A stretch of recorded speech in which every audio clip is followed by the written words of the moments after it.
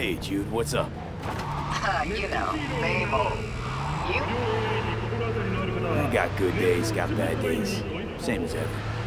You, uh, called just to see how I'm doing, or... Not just. Got a favor to ask you. Ask away.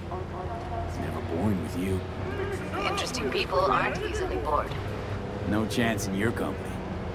But now that we've blown each other, what's up? You're on a need-to-know basis. So, this particular mission don't require you to have no gun. Just a wetsuit. All right then, count me in. But I gotta warn you, I look great in a wetsuit. Damn out past Rancho Coronado.